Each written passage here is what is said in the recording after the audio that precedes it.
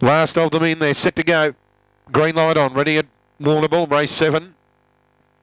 Set. Racing. Sir Bjorn Bale a bit slow, winning at Snaphook, Nawala Ginto. Sir Bjorn Bale extending now, going around the outside, four deep, slip away, bolt underneath it.